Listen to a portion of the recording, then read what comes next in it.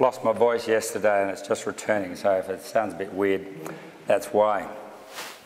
Well, it's always a, a pleasure to come to uh, uh, SPA events. Uh, I, I, must say, looking around the room though, I do worry a little bit about the future of SPA, seeing a room full of uh, baby boomers.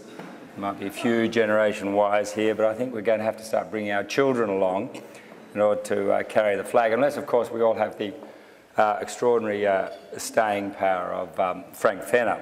Let's hope we do. so let me begin by asking uh, you, uh, uh, having a little quiz. Which Australian politician said this? If Australia continues to grow at 4% per annum for the next 20 years, my kids are going to be nominally twice as wealthy as they are now but I know they're not going to be twice as happy.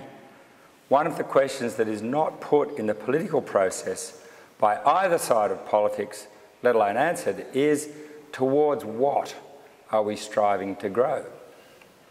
Now, this observation, which some of you will recognise is very resonant of the famous speech by Robert F. Kennedy, in which he said, uh, GNP measures neither our wit nor our courage, neither our wisdom nor our learning, neither our compassion nor our devotion to our country.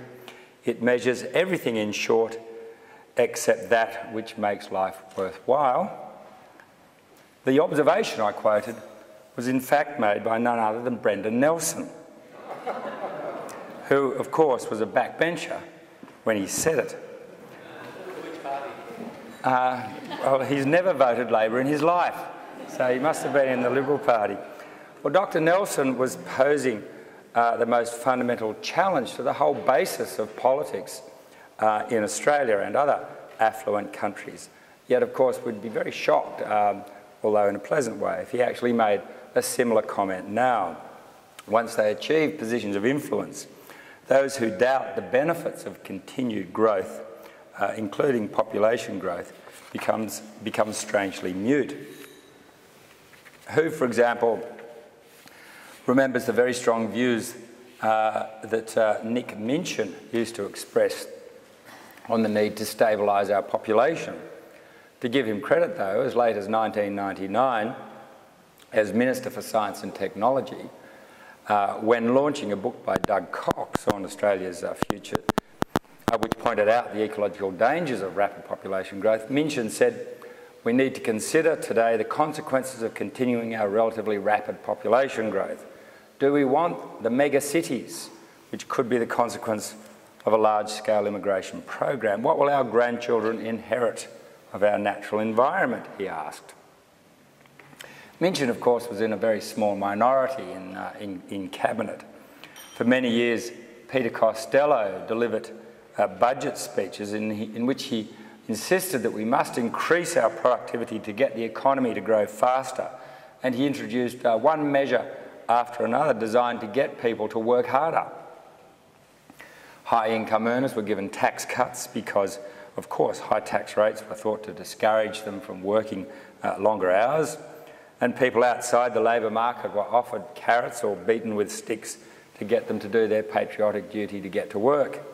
the fact that Australians then as now, work amongst the longest hours uh, in the industrialised world, that working hours had increased substantially since the early 1980s, and the economy was close to being fully employed, did nothing to puncture the government's determination to get us to work more.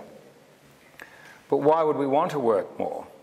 Until the 1980s, falling working hours were universally accepted as a sign of national progress. We celebrated the 45 hour week, then the 40 hour week, and then we celebrated the 37 and a half hour week. Then we were happy to take part of the growth in productivity, uh, part of it in higher incomes, and part of it in more leisure.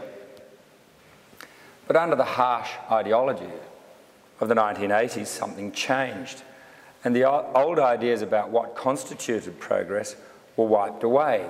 Someone put a minus sign in front of progress. In the new uh, Calvinism of economic rationalism, taking more leisure became some sort of indulgence. We had a duty first and foremost to the economy. Well, I'm never, I never cease to be amazed at how our leaders and thinkers can uh, push from their consciousness the obvious facts about economic growth and about population growth. It's as if there's a whole part of the brain that's shut down because activating it makes them feel uncomfortable and forces them to make hard decisions. And we saw a display of this. I'm not sure whether this came up at the at the conference today, but we saw a display of it a fortnight ago in response to the latest news about the housing shortage in, uh, in this country, which of course is causing serious uh, difficulty for, particularly for lower income households. Yet our leaders are unwilling to consider, let alone mention in public, what of course is one of the most important pressures giving rise uh, to this shortage, the rapid growth of population in Australia, fueled mainly by the record high levels of immigration according to Bob Birrell, immigration accounts for about 40 to 50% of the growth in the number of households in Australia. And a household is a group of people who go looking for a house. Net immigration to Australia has grown to the extraordinary, unprecedented levels 177,000 per annum when we include temporary entrants which is easily the highest we've ever had.